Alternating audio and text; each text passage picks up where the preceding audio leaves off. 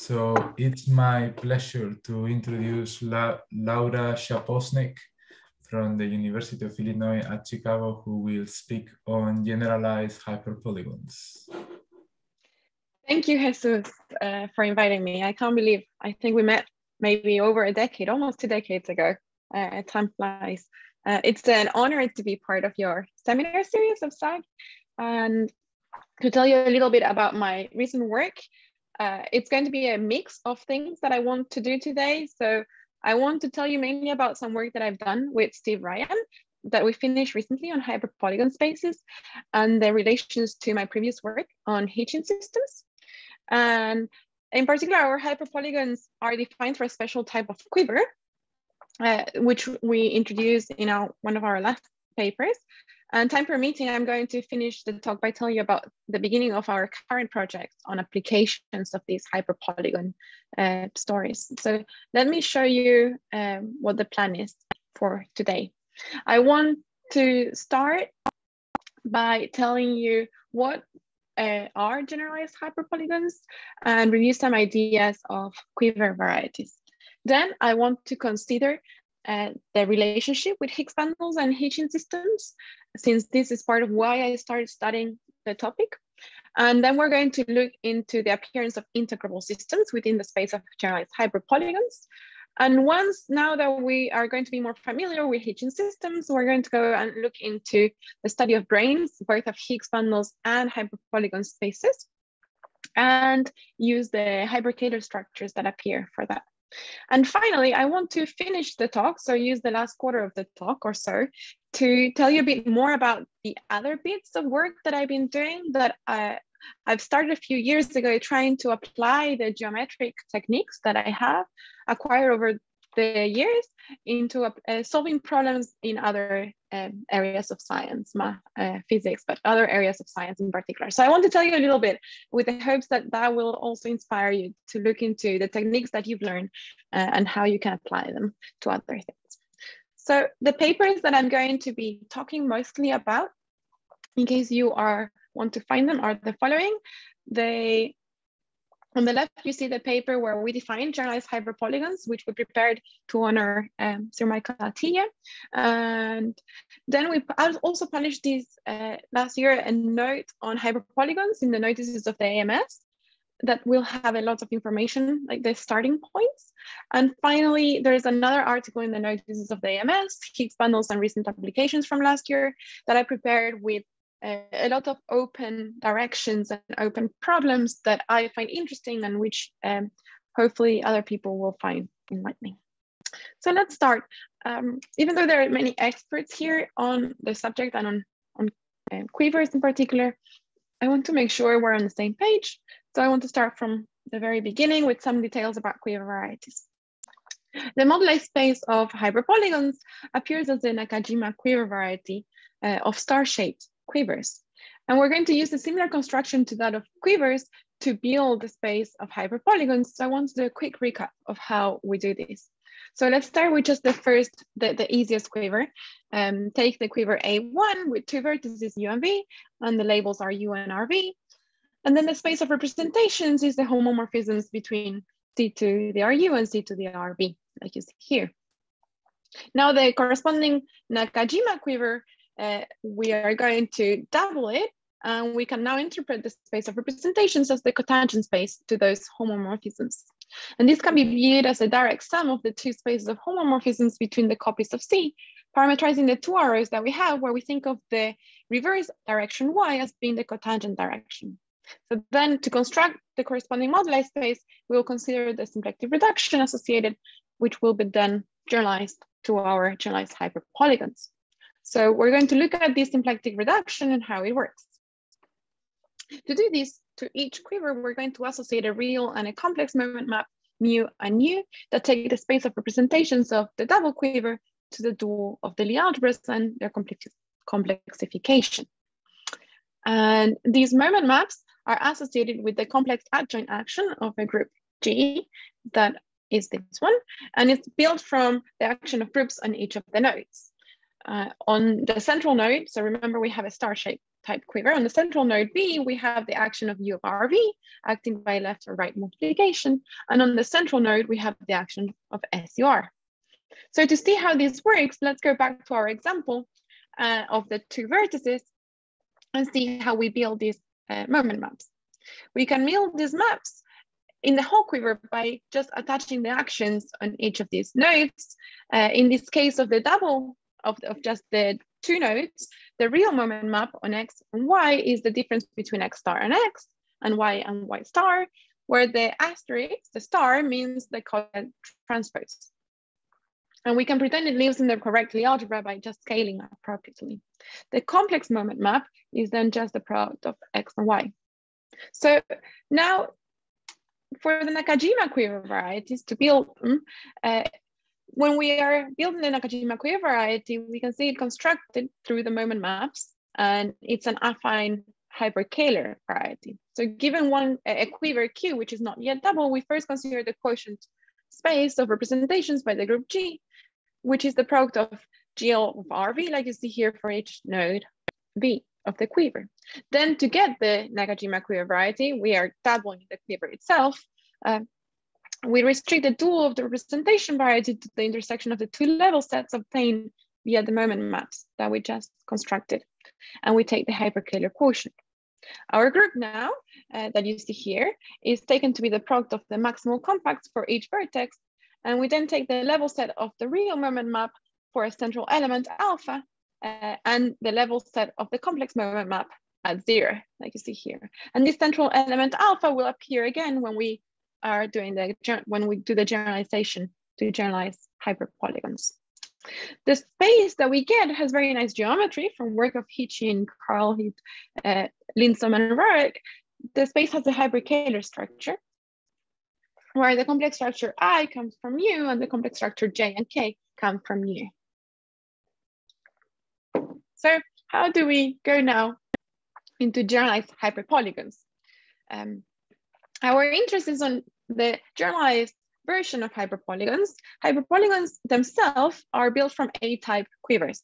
Uh, so we're going to look at the simplest case first of a flag variety that comes from choosing an A-type quiver with M nodes, as we have here, with labels 1 to R and integers in between in increasing order. The Nakajima quiver variety is given by the dual of the partial flag variety, and we're doubling the arrows in, our, in our quiver. We're going to consider the, uh, the labels of each of the arrows, just like we did before, and we're going to consider the underlying R, like you see here, as the vector of labels of our quiver, and so it's integers from 1 to R. The groups now in question, uh, which we're going to use for the moment maps, in this case, Rg uh, that you see here, which is the product of the U of Ri's for the vertices, for the vertex, uh, quotiented by plus or minus one, uh, but not the one with the biggest label R. So we're taking the central node away. And, then we're going to consider the center, which is the sum of the dual of the Lie algebras for the non-central nodes. So to construct our moment map, we're going to consider the level set for which uh, that comes from all of the nodes except for the central node and take all of them to be zero except for the node with a one, and that's going to be our alpha. Um, yes, and we're going to extend that to our generalized uh, hyperpolygon, where we're going to have all of the, we're going to have many copies of these type of quiver all together. These uh, hyperpolygons are built from considering, say, n many different A-type quivers, not necessarily with the same flag, uh, and we're actually not going to take the same flag on purpose. And we're going to join them all together at the central node. And we're going to do just like before, give the R label to the central node. And we're going to build the space of generalized hyperpolygons uh, by first adding G many loops. So this is hyperpolygons that you see here. We're going to add G many loops uh, to make the generalized version. The generalized version will allow us to think about uh, if you want connections on um, on uh, Riemann surfaces that have higher genus. Uh, and I'll tell you more about the relationship uh, later on. So we're adding these G-many loops. We then are going to consider the double quiver like you see here with doubled arrows. And in the central node, we're going to restrict the action to the SUR action. And we're going to fix the labels just as before with choices of alpha i's now. There are many, one for each node, which has a one at the end. And these are going to be our hyperkähler parameters. And so to define the Nakajima quiver variety of, the, of these comets, uh, we're going to do it as the product of the dual spaces of the flag varieties for each of the arms together, uh, like you see here, together with, um, uh, with the space coming from the other nodes. So together with the cotangent space coming from the nodes quotiented by the SUR action. Uh, and the loops come, remember the loops come from the SLRC that you have in the central node, and there's G of them, and so we have these cotangent space that's the cotangent to SLRC to the G because we have G of them. And the quotient is taken via the moment maps as before by considering the level set at zero and the level set for the hyperkähler parameters alpha. So the first thing we need to think about when building the space of generalized hyperpolygons uh, that we did with Steve Rayan was how to build these moment maps. Uh, so let me just give you an example uh, so we can start thinking about how to build these moment maps.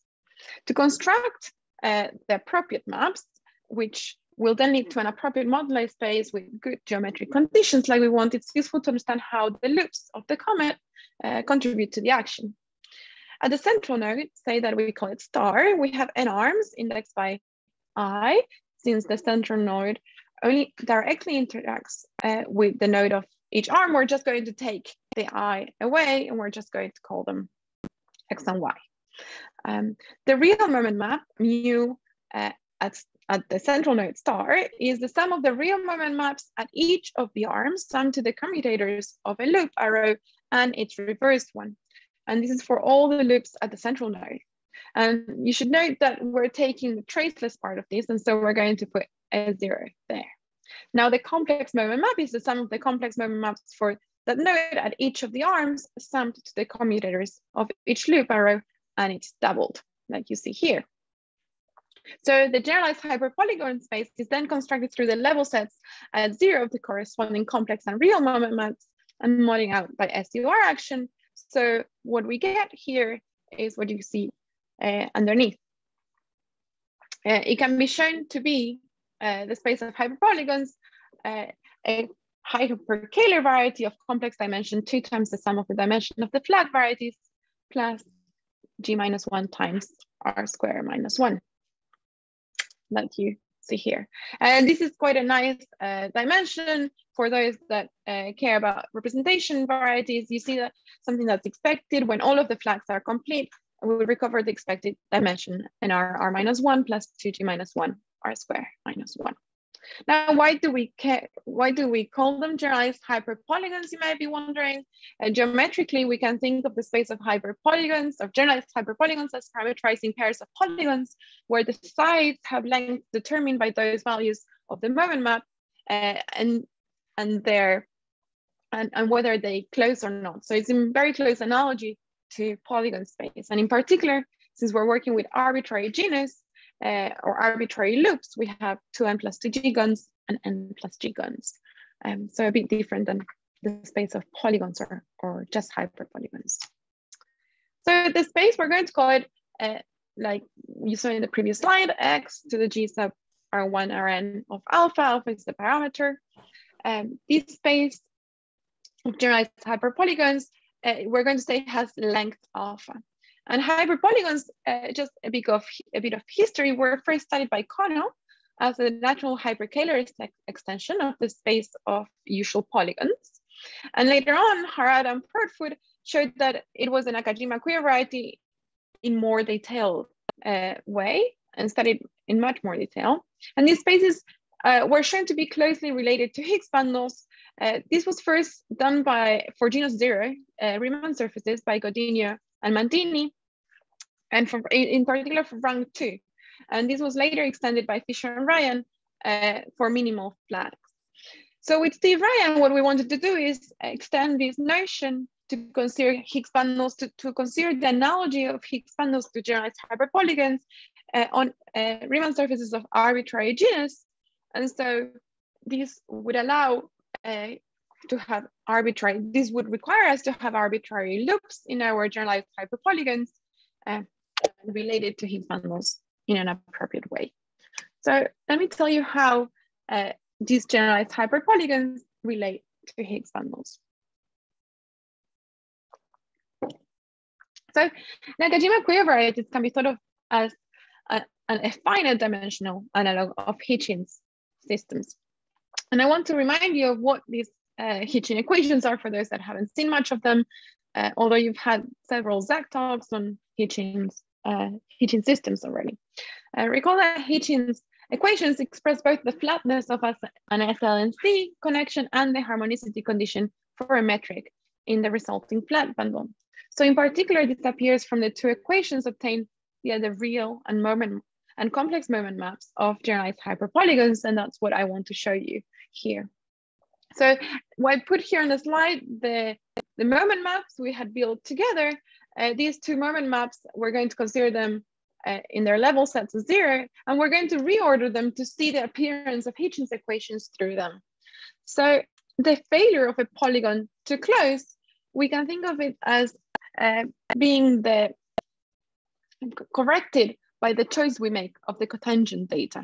And this is very similar to Hitchins' first equation that you see here, where the failure of a curvature to vanish for the connection is measured by the choice of the Higgs field phi.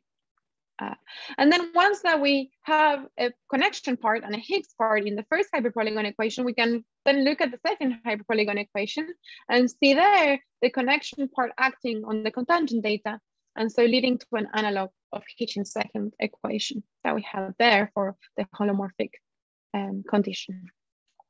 And this is their analog. So we want to actually have a more tangible um, relation between generalized hyperpolygons and Higgs bundles or Hitchins systems. So let me show you how you do that. The way we're going to associate a corresponding Higgs field to a hyperpolygon is by considering a punctured uh, surface. So let D be a positive divisor in the upper half plane, which is tiled with punctured 4G guns.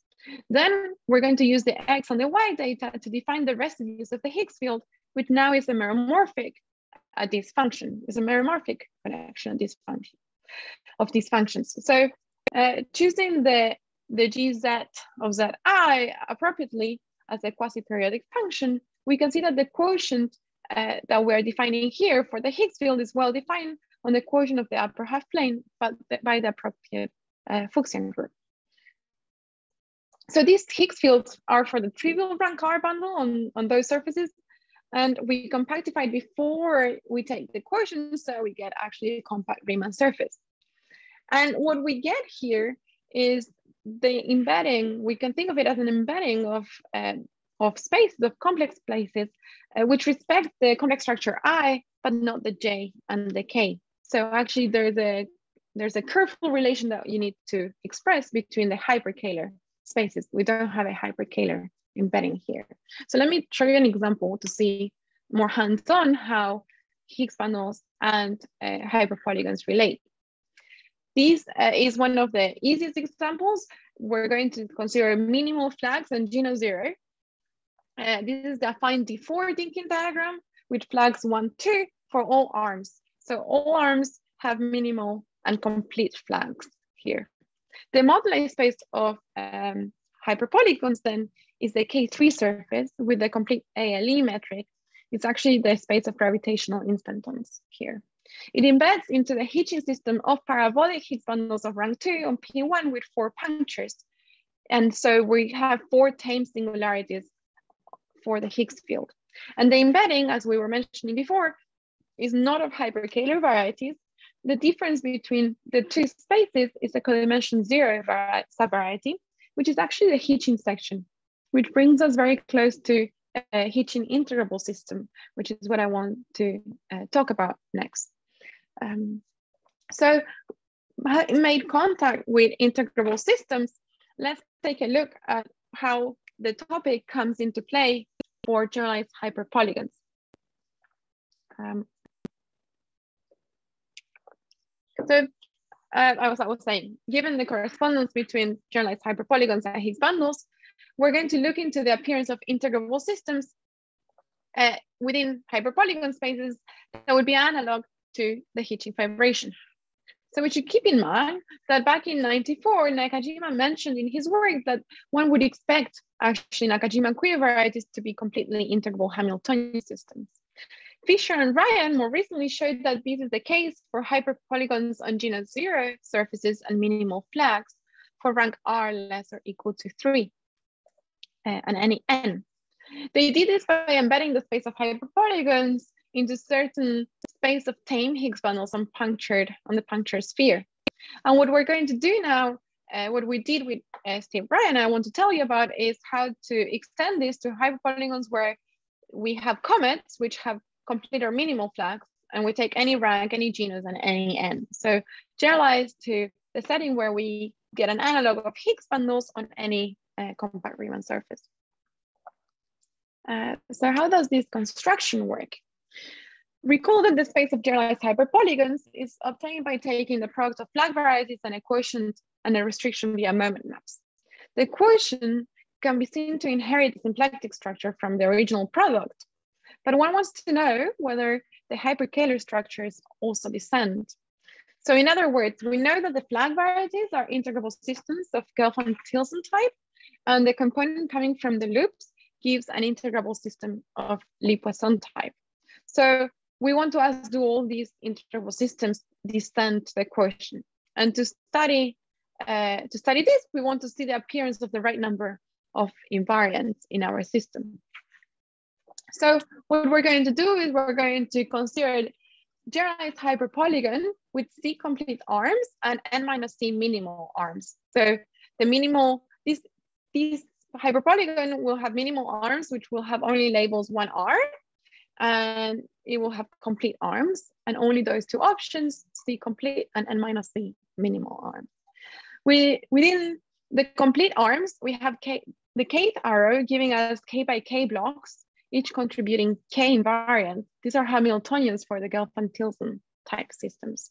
So let me uh, show you for these type of hyperpolygons which uh, invariants appear within our system. Uh, so let's go over these invariants. From the Gelfand-Tsetlin type integrable system, giving complete flags, we have the one plus two plus blah, blah, blah, plus R invariants, and these uh, multiplied by the number of complete flags that we had, uh, we get C times R minus one uh, times R over two invariance from there. Then we have the minimal flags. From the minimal flags, we have R minus one multiplied by the number of minimal flags, which is N minus C. And finally, from the loops, we have G, G of the loops, R squared minus one, since they are in SLRC. So then for each choice of R and G and C, we can show that the hyperkähler reduction by the SUR action fixes a number, let's call it N, of those invariants.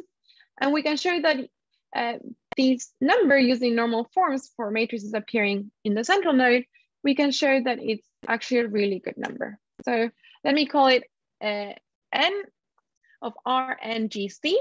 It depends on all of those invariants. And what we can do is once we subtract those to the total number of invariants, we have we get half dimension of hyperpolygon space like we wanted. And this leads to um, our main theorem with Steve Rayan, which is that the space xg sub r of alpha is a completely integrable Hamiltonian system of Gelfand-Tsetlin type. And one of the interesting things, one of one of the surprising things here um, so what's interesting is that this integrable system, it shows the existence of sub-integrable systems within meromorphic Hitchin systems, which do not see the complex geometry of the algebraic curve. This is something that should lead to some new understanding of the whole space of meromorphic Hitchin systems, since it's purely representation theoretic construction of sub-integrable systems. Remember that when you're trying to show uh, that the Hitchin system is an integrable system, you need to go to the Hitchin side or to Higgs bundle perspective.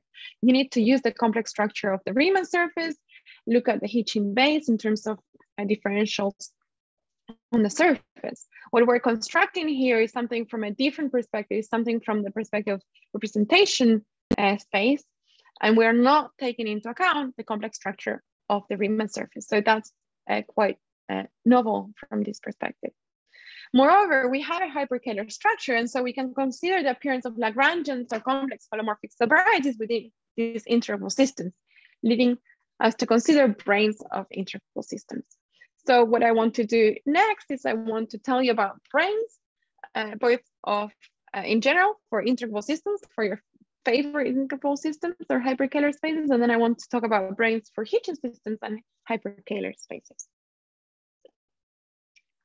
So if you haven't seen branes before, let me just remind you uh, that this is one of the ways that we can think of them. So uh, recall that when you have a hyperkähler variety, uh, we can fix quaternions i, j, k and corresponding symplectic forms omega i, omega j, omega k, and consider the compatibility of subspaces with those structures. So we consider a subspace, whether it's a holomorphic subvariety with respect to a complex structure, whether it's a Lagrangian subvariety with respect to one of the symplectic forms. So we're going to borrow the terminology from string theory, simplify it a little bit here, and say the following. We're going to say that a complex subvariety with respect to one of the complex structures is a B brane. And we're going to say that a Lagrangian subvariety with respect to one of the symplectic forms is an A brane.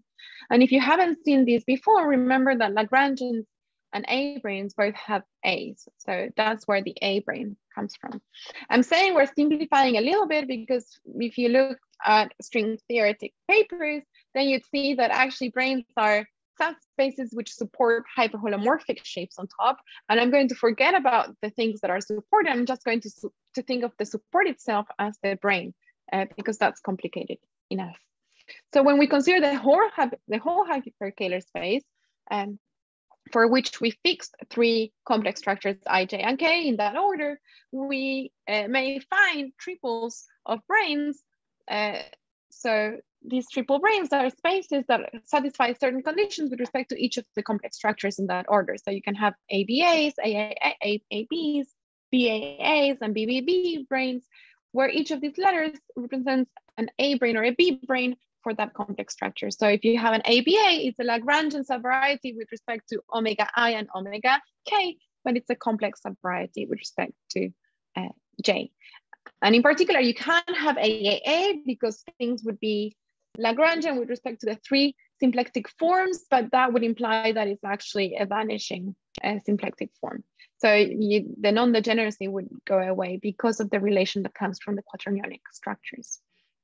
Uh, the BBB branes, you may wonder what they are. They're hyperholomorphic uh, branes. A, a, point is they're hyperkähler subvarieties, so they're complex subvarieties with respect to everyone. Uh, a point, the whole space, but it's also or our branes coming from a representations into a subgroup, a complex subgroups that would also give you a BBB brane, uh, but it's also hard to get um, branes of all of these types. So which question do I like asking about these branes for my favorite hyperkähler spaces, which you might find in your favorite hyperkähler spaces?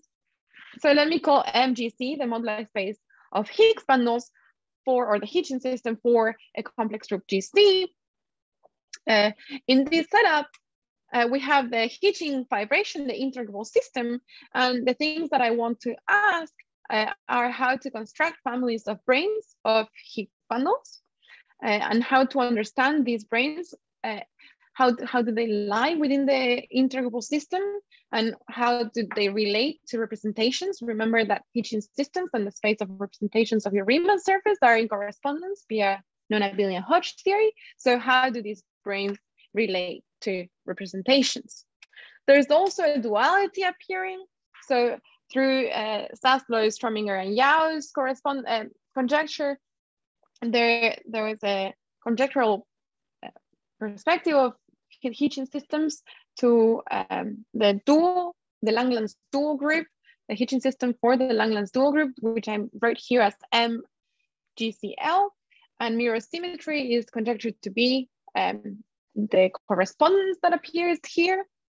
Now this correspondence has to be understood uh, for the non-singular fibers of this fibration and homological mirror symmetry relates in for, for the branes themselves relates the Fukaya category of one of the spaces, so the A branes to the derived category of coherent sheaves of the other one. so which are B branes. So it relates A branes and B branes. And I want to ask, what are the dual objects? Once you construct your favorite branes in, in such an integrable system, what are dual objects in the dual space? And also which other branes can be constructed? We appear in another kind of duality. So here I put it as an M in violet at the bottom. Um, which other dualities are there with other moduli spaces that fiber over the same base and which have branes inside uh, with some kind of correspondence. And this is the kind of questions that I've asked with Steve uh, Bradlow a few years ago. Moreover, as I was mentioning, in some of these integrable systems, there are singular fibers. I put them here in violet. Uh, so since uh, mirror symmetry and SYZ is not truly understood for the singular fibers over the singular locus, you can think of this as just your favorite integrable system or Hitchin systems, the fibers which lie over singular points of the Hitchin base. Um, if you're thinking through, uh, say, spectral data or the spectral covers for Hitchin systems are points over singular uh, reducible spectral covers.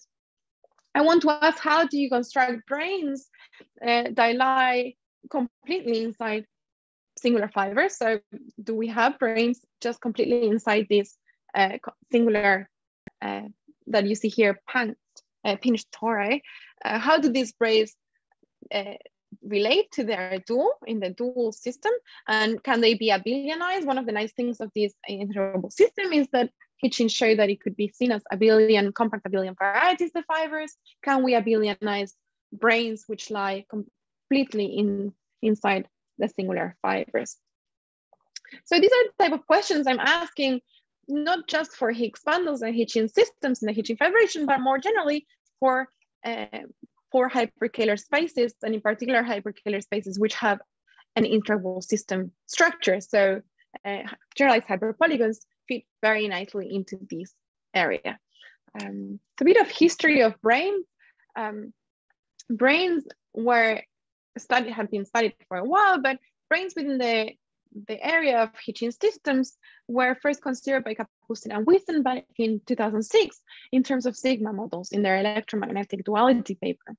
Later on, together with uh, some of my collaborators, with David Baraglia and then with Sebastian Heller and some with this was, we consider uh, the first uh, the first methods to construct families of branes which generate consistently the four types of branes that should be uh, that are allowed within the space of Hitchin systems and that which are related to each other. So what I want to tell you next is how to do this, how to construct these families of branes and how can we generalize them to other settings and in particular to generalize hyperpolygons.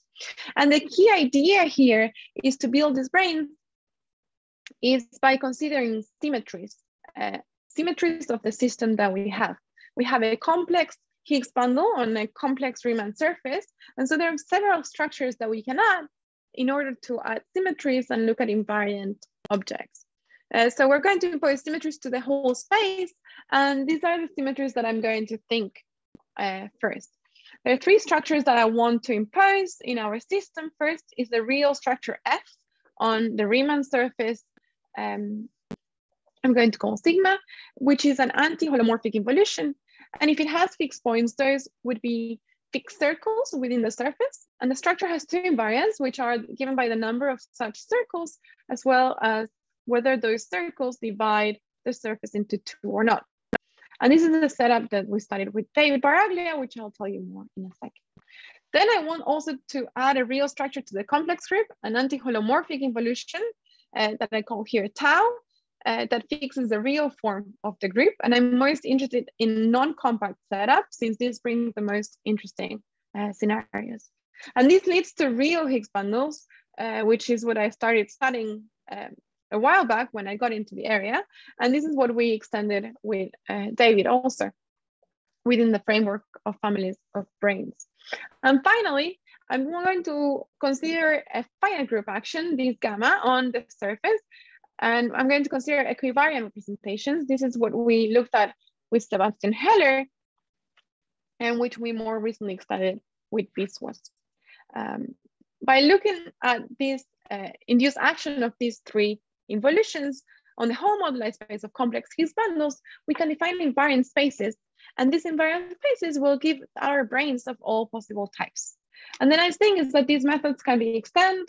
In particular, they were developed later um, and extended later to different setups. For instance, to frame instantons, to Higgs bundles on K3s, and more recently to quiver varieties. So I'll tell you more about how to look at these branes within the Hitchin setup. I'll tell you a little bit about how Schaffhauser and Hoskin extended it to quiver varieties and how with Steve Rayan, we, uh, we explored a different perspective of these involutions into generalized hyperpolygons, uh, which doesn't overlap with uh, Schaffhauser and Hoskins. So the four types of branes that we can have were ABA, BBB, BAA, and AAB, and this is uh, how we can build the spaces. With the real structure on the surface, um, this F with uh, David Baraglia, we showed that one obtains the real integrable system given by ABA branes, which actually relates to three manifolds in a very interesting way. So I'll tell you a little bit more about it in a, in a few minutes. With a real structure on the group, uh, one gets a BAA brane of uh, the type originally considered by Kapustin and Witten in their paper. It's just that they weren't thinking about uh, about involutions in that way. And these involutions bring back real Higgs bundles as introduced by Hitchin back in 92. We, we further studied these branes. I studied them by myself first, and then with uh, with Baraglia, with Hitchin, with Bradlow, Franco. This was with a few collaborators. We looked at, real branes and how do they relate to to each other via uh, dualities and how they can be abelianized and non-abelianized. Um, there are very interesting features that I can tell you more about um, later on. And then you can try and mix and match these structures. So mixing both real structures on the group and on the surface, we get an AAB brane of pseudo-real Higgs bundles, which we show with Baraglia that it's also an integrable system. And finally, considering equivariant Higgs bundles under a finite group action, we obtain BBB branes with Sebastian Heller uh, and these actually, we showed that it's a fibration of, in terms of Prym varieties in certain settings. But we did it for SL2 Higgs bundles, so it's still widely open to consider Hitchin systems for higher groups, higher rank groups, and understand what these equivariant Hitchin systems uh, look like in terms of branes. So before we carry on and look into hyperpolygons, I want to tell you a few words about uh, how these three manifolds are related to Hitchin systems, since I find that quite interesting. So there's a question that many people have asked concerning three manifolds whose boundary is the Riemann surface, which is about which representations of the fundamental group of the Riemann surface extend to that of a three manifold. Within our setup, we consider a particular three manifold bounding a Riemann surface, which is obtained by taking the product of the Riemann surface with an interval, say minus one, one, and quotient by the action of the real structure F that we had and minus T. So you're sending xt to f of x minus t. And in this way, what we get is a three manifold which naturally bounds a Riemann surface. And most uh, familiar three manifolds can actually be put in this way. So once you have your three manifold written like this in terms of f, in such setting, those we, we want to ask which Higgs bundles extend. And these Higgs bundles over the three manifold, when considered over the fixed circles, they create actually an invariant because the vector bundle is sent to itself. So over each circle, there's a choice of plus or minus one. Um, so if you think, let me put it this way, if you think of a Higgs bundle that uh, belongs to the ABA brane of invariant Higgs bundles under the induced action, the induced involution of the real structure F on the moduli space of Higgs bundles uh, over the fixed circles sends the vector bundle to itself. And so for each fixed circle, there is a choice of plus or, plus or minus one for each dimension of your vector bundle. So it defines the twisted K-theory class of the vector bundle E.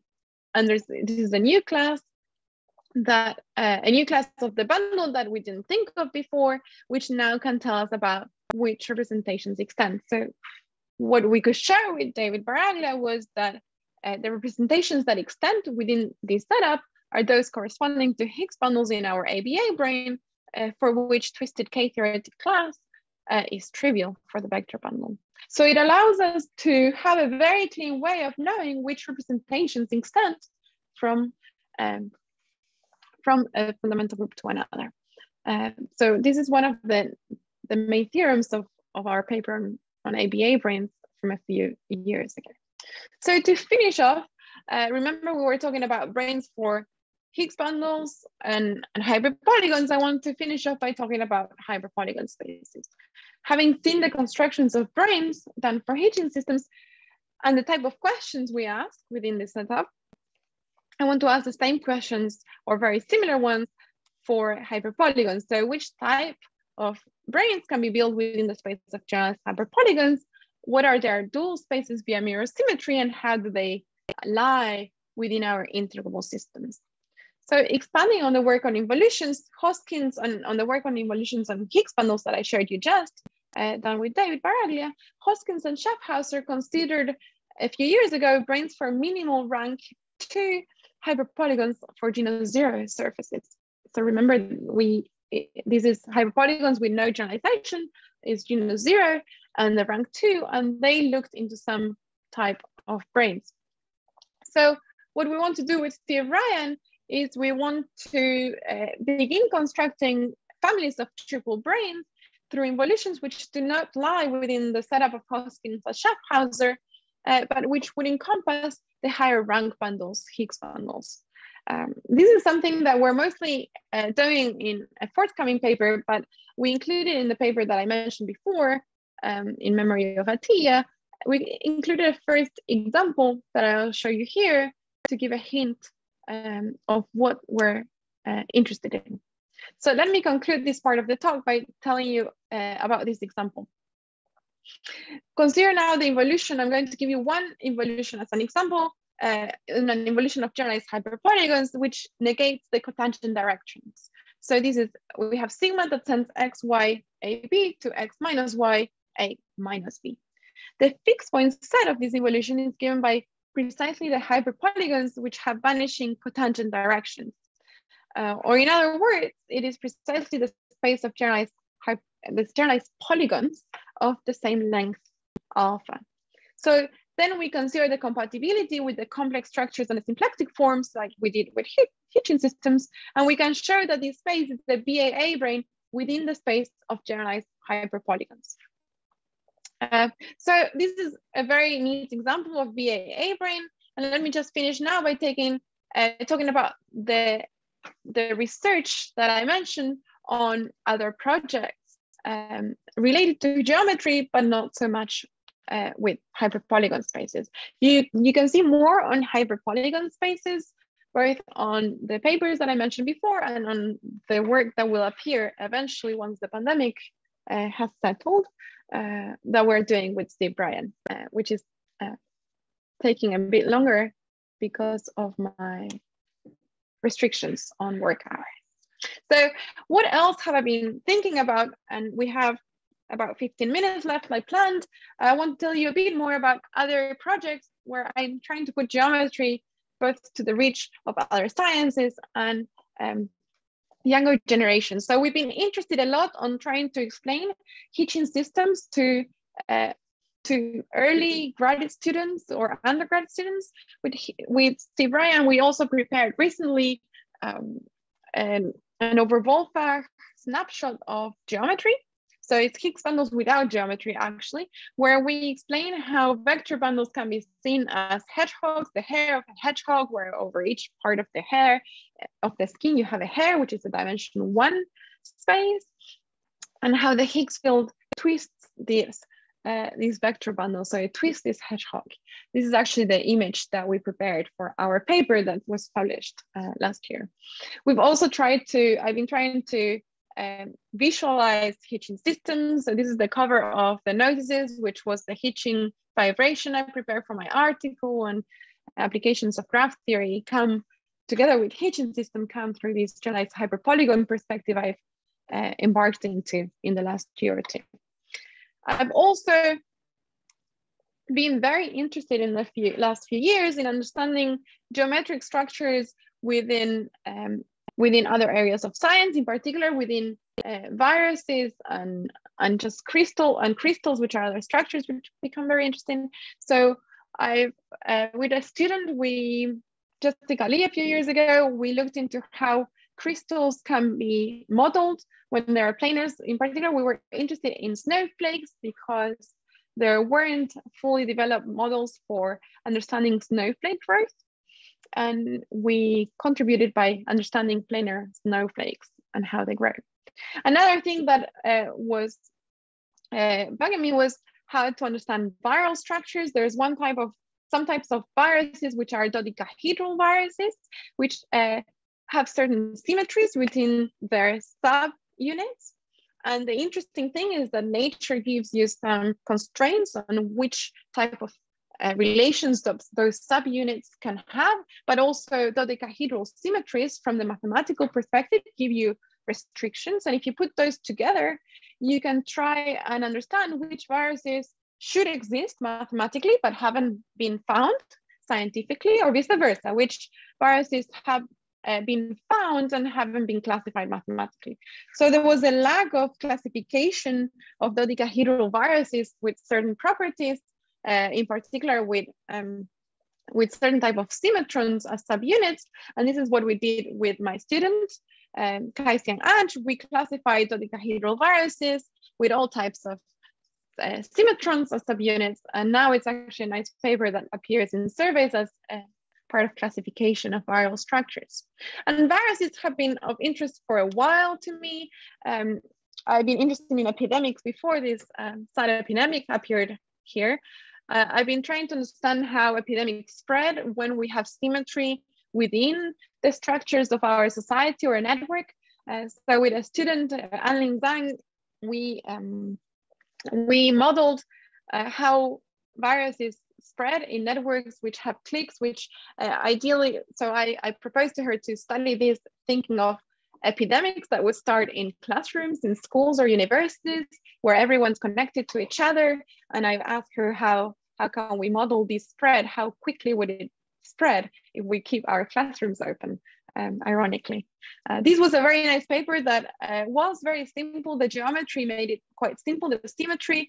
It, it gave us some insight into some interesting settings. She actually won many prizes, uh, like hundreds of thousands of dollar prizes, because uh, as students, these uh, kind of projects apparently are very, uh, very catchy. And they were catchy also um, for the media. So with a, more recently, I published in the Proceedings of the Royal Society from the UK, uh, a model where we looked into the more theoretic perspective of networks and percolation, bootstrap percolation models for uh, networks with symmetry and multi-type um, setting. My inspiration was trying to think of how to, uh, this was inspired back in 2020, 2019, how do fake news spread? Uh, when should you trust something that someone tells you? And how can we put a, a bound on this? So can we say that we trust something if at least say three different types of people have told you this information? If your friend, your family, and a store uh, manager tells you this information, then you start trusting it. So these different types of people have to tell you different the same information and then you trust it. Um, this was a trust model, we called it for spreading gossip. We got into several media outlets um, because hopefully it can help us model how both uh, not just fake news or gossip spread, but also how to give different vaccinations uh, for viral spread, uh, which would stop. If you have three different types, then you stop uh, a spread, say. Uh, so more recently, when the pandemic started last year, uh, back in January, we had a lot of data from, from Washington state on the outbreak here in the US. And it became interesting to try and understand the different uh, age divisions in the spread. And we started trying to understand how vaccinations, back in the time there was no vaccination, how vaccinations could be structured depending on age so that we could maximize their use and minimize the ICU units used in hospitals. So with my student, uh, I should mention maybe these all of these students are actually uh, high school students that I take for a year and I give them projects to do uh, under my supervision. So with this student, I asked him to, to try and model uh, this age structure susceptible, infected, and recover model for COVID-19 type viruses. And we did a um, vaccination strategy based on that. It was published in published uh, recently in Nature scientific reports, um, and it gave an insight into this vaccination strategy. But I've also been interested in behavioral science and how can we uh, see patterns, the same patterns that I'm looking in, from the geometric perspective, I'm looking at patterns in behaviors. Uh, we did recently uh, with a student visual RAM, we looked into how to use machine learning. I've been interested in, in machine learning in the last few years after taking some classes in, uh, in Stanford of AI. So I asked him how to understand machine, with machine learning the relation between emotions and colors. Um, we did this paper on continuous emotion extrapolation uh, and uh, color related to the emotions in different countries. Uh, the other co-authors, this was our first paper with neuroscientists, which apparently once they give you a data set, they need to be co-authors in your paper, uh, which I wasn't aware, but this is how it happened. And um, then also, I, I we've been interested with my husband to start uh, studying behavioral be uh, science, and we looked into uh, what we called we introduced the, the concept of uh, phone walkers, just like you have a, a dog walker. You can walk your phone without using it, as you can see in these images below that we made. And this was published in uh, Behavior, one of the top journals in behavioral science, and caught by a few again media outlets like MIT Technology Review and so on about phone walkers, which are kind of like zombie walkers of phones without using. Uh, now the pandemic keeps going and uh, I'm not looking at COVID anymore, but I've been more interested this year in understanding a very curious mold called Physarum, uh, that's a mold, that's a clever unicellular organism that kind of knows where food and, and other sources of um, energy are without seeing them. Obviously, it doesn't have any eyes, but it can detect them. And so we can actually uh, produce using this mold and uh, a model that we made. There was usually, there was only available a, a model for a, one cell of this mold and how it behaved.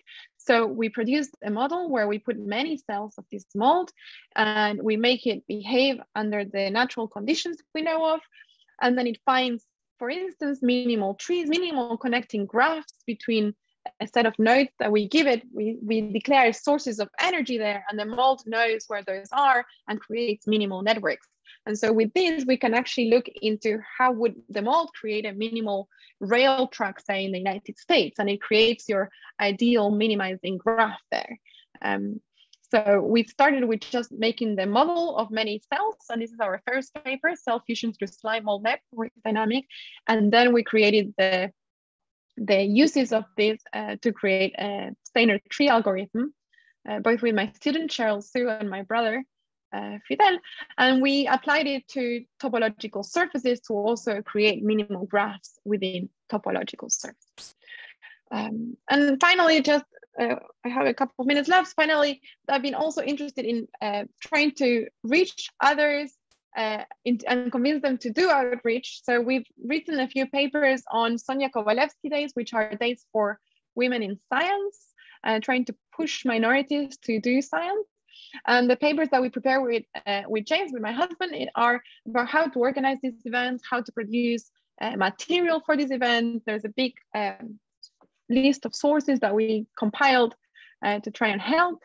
Uh, and on the left, you see one of the papers I published in the European Math uh, Society newsletter about teaching uh, mathematics and doing work really with a toddler or children at home. As you can imagine, it has been quite hard this pandemic with children at home you don't get much time to to do anything and that's a photo of me trying to teach counting to a one and a half year old uh, whilst trying to do some research at the same time Uh, so this has been my work in the last few years. Uh, let me finish by just advertising a conference that I'm hoping is going to be the reunion of, uh, of my area of geometry and geometric structures, Hitchin systems. And we're planning this big conference in 2022. Hopefully the pandemic will be over by then. It's going to be a week here at UIC. I'm organizing with uh, Brian Collier. Uh, there are going to be many plenary talks from all over the world, mini courses for students, there's support. I'm planning to support everyone that comes. We're expecting about 100 people, everything paid for everyone, boat tours, lots of fun, social activities that we've been missing for the last few years, and lots of very interesting talks and work to be done uh, all together. So if you know of anyone, just go to this website and uh, sign up for the support that we're already taking applications. Thank you for listening, and that's all for today. Thank you. It's uh, amazing how busy you've been uh, in the last year and a half. Quite impressive. Uh, it's not, uh, yeah. I'm trying to survive. With, I think, I think you're doing well, yeah. Okay. Um, so we have maybe some time for questions. Uh, are there, uh, have one very lateral question, but maybe I prefer to open it to the audience first. Oh, you can start. We can start with you if you want, and then if anyone, you can also people can email me questions too. I'm very happy to answer via email. Okay, maybe I will ask.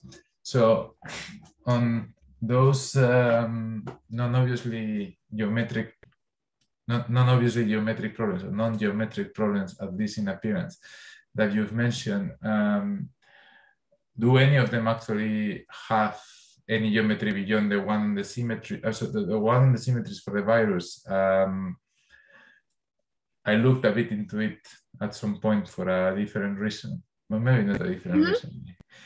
Um, yeah. Uh, but is there, I mean, do you find Higgs bundles on any of these problems or not really? I haven't tried to define Higgs bundles on any of these problems, but uh, my collaborator, Steve Rayan, as I mentioned, um, he's my main collaborator currently. Uh, he's also taken in the last year this uh, side, we call it side math, where we do some other stuff. He's doing quantum materials, and he's actually been able to define Hitchin systems within quantum materials. Um, quantum so, materials. Yes. What's a quantum material? Uh, you we need to ask him. He's not here now okay, today. Okay, okay. Uh, but you can uh, you can think of um, you you've heard of quantum computing. So it's it's along the same lines of quantum computing, mm. uh, but uh, nanomaterials too. I don't know how he's doing it.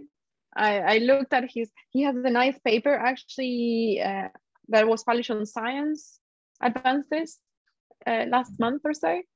Mm. And there's another one coming with Hitchin systems, uh, which um, has made me think I should actually try to put Hitchin systems into and see how they fit within these other areas. I mm. think because Hitchin systems are so natural, um, mainly because we're just talking about a connection, right, on a Riemann surface under certain conditions, in principle, we can think of it. Say we're looking at this um, Steiner tree algorithm on torus or, or a sphere, we can try to think the, the vertices of this tree as the points where this connection will have zeros and uh, we can make quite a neat connection between these objects. Um, but I haven't, I haven't tried.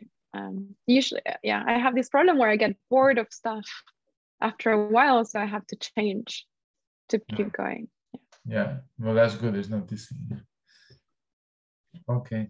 Uh, any other questions, comments? you can just unmute yourself if you want to ask, or you can put it in the chat, and I'm happy to to voice it. Uh, okay, can I ask a question? So you uh, so uh, at some point you mentioned the uh the the relation between flag variety and the and the Gelfand-Tsetlin. between what? Between sorry, between what? Uh, between uh flag variety and the Gelfand-Tsetlin. Yes. So can you can you say a little bit more about that? Uh, let me just go back to. the screen.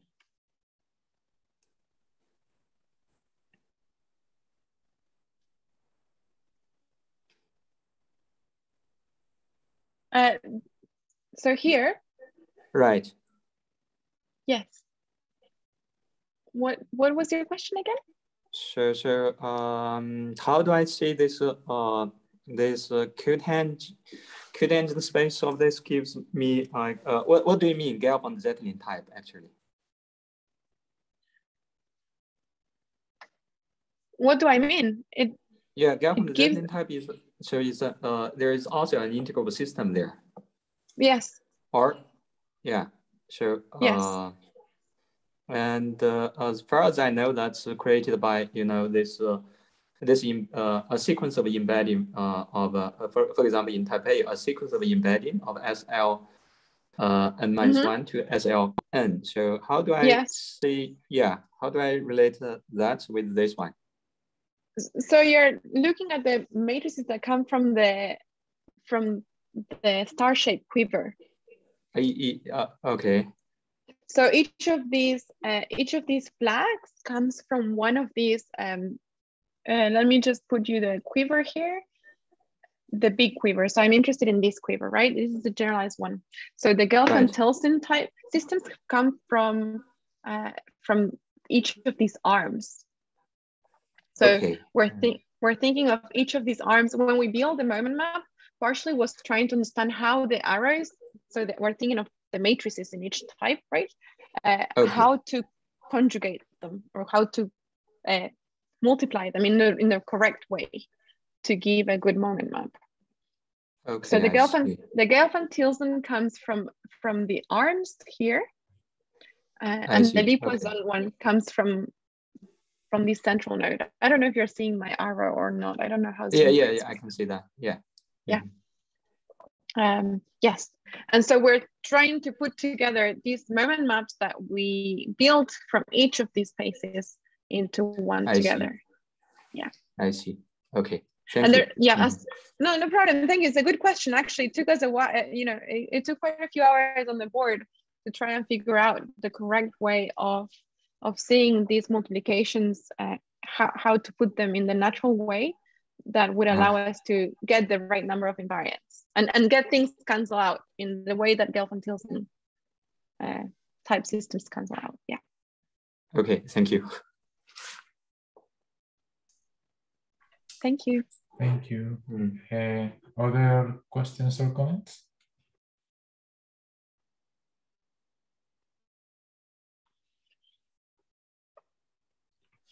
Okay, so let's thank Laura. Thank you. Thank you. And it was good to see you. Uh, okay, thank you very so, much. Thank you. Uh, there's one more talk this, no, sorry, two more talks this year, one Thursday and then the next one on the Tuesday after, and then we stop till uh, the 11th of January, I believe, or something like that. All right. Anyway, you'll get an email about it. Okay. Thank you, everyone. Thank you. Thanks Thank you, Jesus. Thank you, Laura. Thank you, everyone. Bye-bye.